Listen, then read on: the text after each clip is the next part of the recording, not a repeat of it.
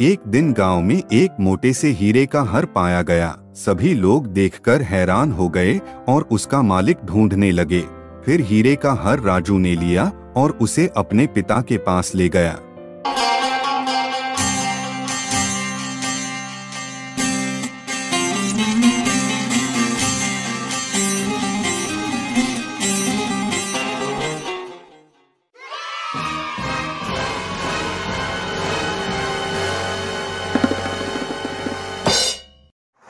हो हो हो। तो दोस्तों, कैसे हो तुम सब? मैं तो ठीक हूँ। और बताओ, सब बढ़िया चल रहा है ना? बरसात का मौसम है, बारिश भी हो रहा है।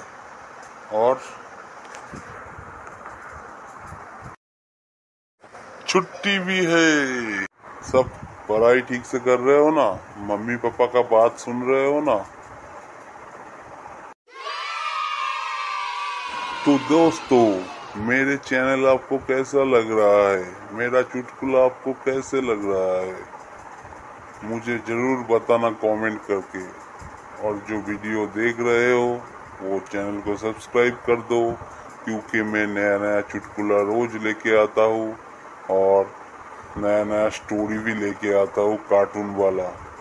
आज मैं एक स्टोरी सुनाऊँगा आप सबको, जो एक बच्चे राजू का है। तो बच्चा है, पर इतना ईमानदार है कि क्या बोलूँ। ठीक है, चलो आओ देखते उसका स्टोरी कहानी एक गाँव के एक छोटे से लड़के नामक राजू की है। राजू बहुत ही सच्चा और ईमानदार था। उसकी यह आदत उसके गाँव के लोगों के बीच मशहूर थी। एक दिन गाँव में एक मोटे से हीरे का हर पाया गया। सभी लोग देखकर हैरान हो गए और उसका मालिक ढूँढने लगे।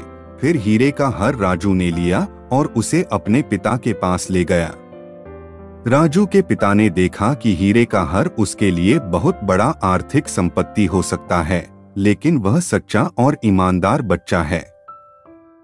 उन्होंने राजू से कहा, बेटा, तुम इस हीरे का हर अपने लिए नहीं रख सकते। हमें इसे गाँव के सरपंच के पास ले जाना चाहिए ताकि यह गाँव के विकास में मदद कर सके। डॉट, राजू ने अपने पिता की सलाह मान ली और हीरे का हर गाँव के सरपंच के पास ले गया। सरपंच ने इस हीरे का हर गाँव के लिए समर्पित कर दिया और गाँव के विकास में इसका उपयोग किया। इस कहानी से हमें यह सीखने को मिलता है कि सच्चाई और ईमानदारी हमारे जीवन में हमेशा महत्वपूर्ण होती हैं। हमें कभी भी छल करने का प्रयास नहीं करना चाहिए, बल्कि हमें हमारे समाज और समुदाय के लिए भी योगदान करना चाहिए। सच्चाई हमें सफलता और समाज में सम्मान प्राप्त करने में मदद करती है। तो दोस्तों, आज का स्टोरी कैसा लगा आप सबको? मुझे पता है कि आप सबको पसंद आया। तो आप भी राजू की तरह बनिए। और दूसरों की मदद करें। और दूसरों की चीज़ अगर आपको मिले तो उसे ज़रूर लौटाए। उसका इस्तेमाल ना करें। ऐसे ही करके आप ईमानदार और अच्छे इंसान बन पाओगे जीवन में। ठीक है।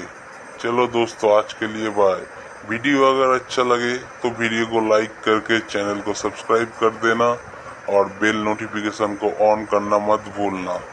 टाटा दोस्तों फिर मुलाकात होगा नया चुटकुला या स्टोरी लेके।